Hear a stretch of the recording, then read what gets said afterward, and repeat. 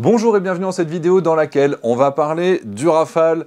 Vous savez, le Rafale a encore gagné un contrat à l'export vers l'Indonésie pour 42 avions. Il y a certainement d'autres contrats qui vont arriver très prochainement.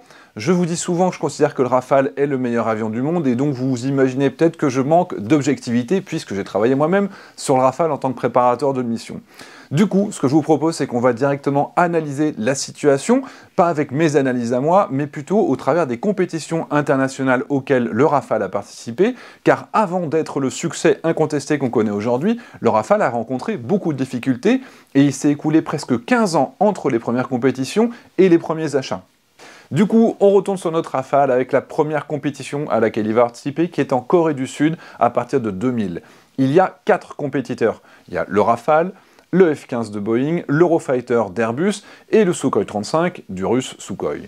Les avions sont jugés selon cinq critères. La fiabilité, les capacités au combat, les fonctions générales, la capacité en guerre électronique et les armements disponibles.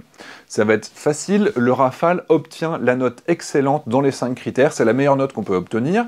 Le F-15 est jugé seulement excellent en fiabilité et en capacité de combat. L'Eurofighter obtient la meilleure note seulement en fiabilité et en fonctionnement général. Et le Sukhoi 35 obtient la plus mauvaise note dans tous les critères, donc il est très très en dessous. Donc on arrive logiquement à une victoire du Rafale devant le F-15 avec l'Eurofighter qui arrive en troisième et le Sukhoi qui est bon dernier. Son avionique est inférieur, il y a une absence de fusion de données, il surconsomme, là maintenant c'est difficile, il a un radar euh, PESA et pas d'évolution vers un radar AESA à balayage électronique actif, donc l'avion est directement éliminé.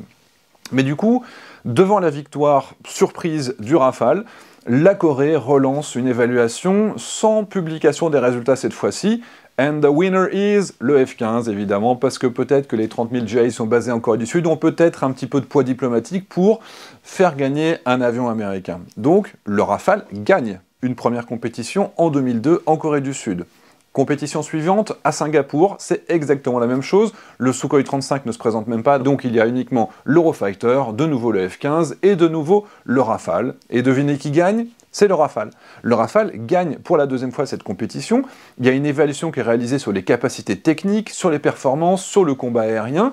Et malgré, encore une fois, la victoire du Rafale, c'est le F-15 qui est acheté. Là, il y a des coûts également qui vont jouer, euh, notamment parce que le dollar a une dévaluation de 30% à l'époque par rapport à l'euro, donc c'est aussi le côté financier qui va jouer, mais ça fait déjà deux fois que le Rafale gagne une compétition sans finalement réussir à placer l'appareil.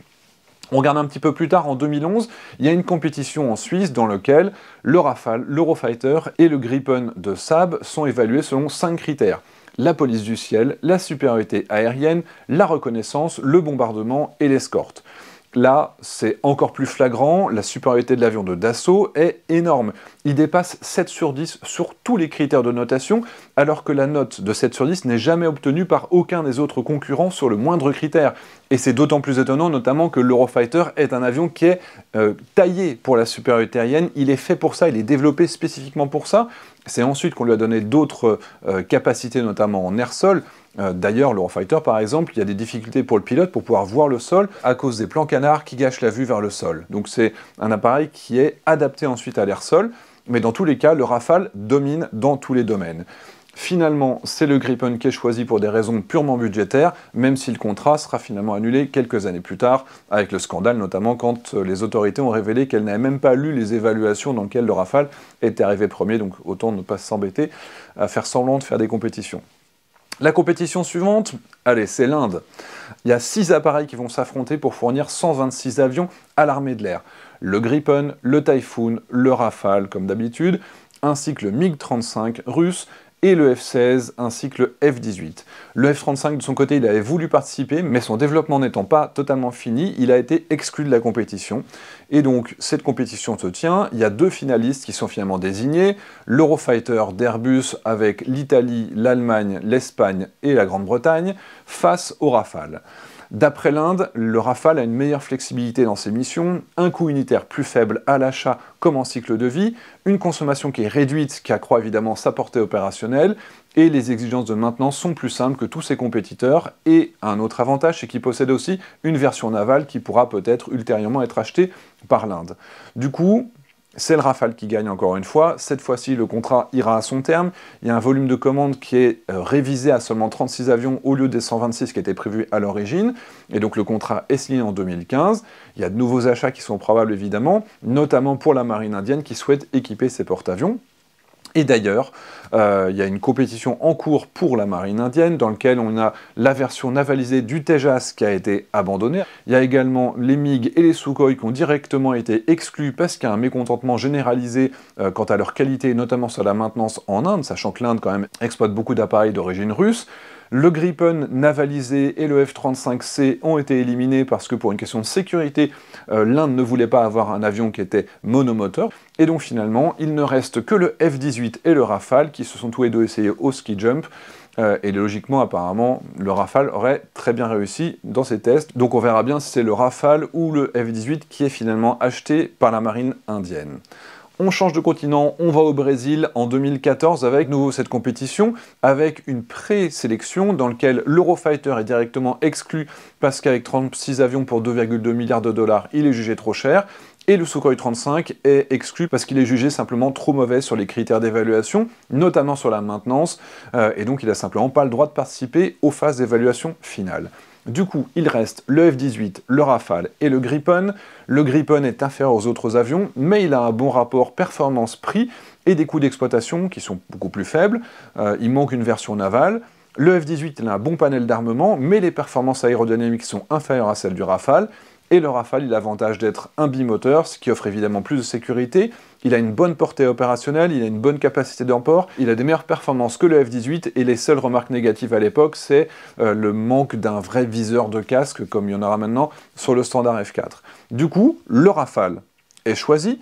Euh, le Brésil entre en négociation exclusive avec Dassault, mais il y a un changement de gouvernement et finalement ça se réoriente vers le choix, vers le Gripen, parce que c'est un avion qui est de plus petite taille, qui est monoréacteur, qui est du coup qui est moins coûteux euh, et qui est considéré comme suffisant sur le plan capacitaire pour répondre aux besoins du pays. Tout simplement parce que le Brésil ne connaît pas de conflit, euh, il n'a pas de vocation à réaliser des missions hors de son territoire, et donc le Gripen est considéré comme suffisant pour euh, ce que le Brésil a prévu de faire avec son avion chasse, c'est-à-dire principalement de la police du ciel, éventuellement un petit peu de contre-insurrection. Et vous me dites, oui mais le F-35 du coup, on l'a pas réellement comparé. Alors, il y a quand même des comparaisons, il y en a une en particulier qui est totalement transparente, c'est celle qu'il y a eu aux Pays-Bas il y a presque 20 ans, et l'objectif est de remplacer la flotte de F-16 du pays. Il y a directement 700 critères d'évaluation qui vont être regroupés en trois grandes familles, la qualité, le coût sur le cycle de vie et évidemment le timing sur les livraisons, avec chacun des critères qui a une pondération. Par exemple, la furtivité, c'est un peu plus de 1%, c'est un des plus importants, puisqu'il y a quand même 700 critères. Du coup, vous avez ce tableau dans lequel on a des avions qui sont déjà disponibles, et donc on peut déjà mettre une note, par exemple, le F-16 Midlife Update, donc la version améliorée du F-16, et à l'inverse, il y a des avions pour lesquels on ne connaît pas encore leur niveau final puisqu'ils sont encore en développement. Donc, il y a trois notes une note centrale qui est euh, la plus probable, celle que l'avion devra atteindre si son développement se passe correctement, une note supérieure si l'avion atteint réellement euh, bah, toutes les exigences de son cahier des charges, et parfois on sait que ce n'est pas totalement le même niveau, et une note inférieure s'il rencontre des difficultés dans son développement. Là, du coup, on a vraiment quelque chose qui est factuel et qui compare quand même tous les avions. Le Gripen, le F-18, l'Advanced F-16, l'Eurofighter, le Rafale et le JSF F-35 le Gripen, le F-16V et le F-18 sont très largement dépassés par l'Eurofighter dans sa tranche 2, qui obtient une note de 5,83, mais surtout par le binôme Rafale et F-35 qui sont très très loin devant. Et là, les scores sont vraiment serrés. Euh, l'avion américain dépasse le français, simplement au standard F3, de seulement 0,02 points. Il a 6,97 contre seulement 6,95 pour le Rafale alors même que le F-35 n'est à l'époque qu'un avion de papier. C'est une vision du futur proposée par Lockheed Martin en espérant qu'il atteigne ce niveau-là, mais étant donné les difficultés de développement qu'on connaît aujourd'hui, on sait qu'il a encore des centaines de défaillances, on sait que ses exigences ont été revues à la baisse, on sait que le F-35 est plutôt en bas euh, de cette fourchette, et du coup plutôt le Rafale qui est au-dessus de cette fourchette, puisqu'il s'est encore amélioré. Si on refaisait cette évaluation avec les mêmes critères aujourd'hui, il est très clair que le Rafale au standard F3R serait supérieur au F-35. Mais ce qui est plus gênant, c'est que déjà à l'époque, le Rafale F4 domine largement le F-35 théorique espéré à cette époque. L'évaluation approche presque les 7,5 Et la différence sera encore plus élevée aujourd'hui, puisque le Rafale F4 a encore d'autres améliorations qui n'étaient pas prévues à l'origine, comme l'amélioration de sa furtivité. Il y a plein plein de choses qui font qu'aujourd'hui, il aura une note encore meilleure. Et simplement, les Pays-Bas ont choisi de ne pas considérer la note du Rafale au standard F4 pour pouvoir choisir le F-35. Parce que c'est ça le problème, ce document est une fuite. Il n'aurait pas dû être publié et il confirme simplement que les Pays-Bas n'ont pas choisi l'avion qui était le meilleur dans leur évaluation. Du coup, ça crée un scandale et le choix final du Pays-Bas en faveur de l'avion américain ne sera officialisé qu'après un scandale et la tenue d'une nouvelle évaluation en 2008 dans laquelle les critères sont encore plus favorables au F-35 et du coup, c'est le F-35 qui est choisi alors que le Rafale, encore une fois, avait gagné cette compétition contre le F-35. Pour rappel, il euh, faut savoir que les Pays-Bas étaient également impliqués dans le développement du JSF dès la fin des années 90, donc les dés étaient certainement très pipés avant même le début de la compétition. Donc ce qu'on peut dire, c'est que le Rafale est loin d'avoir démérité dans les premières années, il a bel et bien remporté des compétitions, simplement le résultat de celles-ci n'ont pas été considérés lors des décisions de passer à l'achat. Donc la vraie question, c'est qu'est-ce qui peut pousser un pays à sélectionner un avion de combat qui serait moins bon et ou plus cher, en général les deux à la fois en l'occurrence avec le F-35. Par exemple, la Suisse de 2011 et le Brésil euh, de 2014, ils souhaitent acquérir un avion qui permet d'assurer le minimum vital pour la souveraineté du pays. Donc le choix du Gripen peut sembler logique, puisque ces pays n'ont pas de guerre probable à mener et pas de volonté euh, d'intervenir loin à l'étranger la Corée du Sud, Singapour, plein d'autres pays, ils subissent simplement des pressions diplomatiques, stratégiques et économiques contre lesquelles, euh, très clairement, la France, l'Europe ne peuvent rien, les Américains arrivent à imposer leurs appareils. Et il y a d'autres États qui s'embarrassent même pas de compétition. Ils achètent ouvertement le parapluie américain, la Pologne, le Japon, la Thaïlande, Israël, l'Australie, l'Arabie saoudite. Enfin, pour certains pays, il n'y a simplement pas le choix.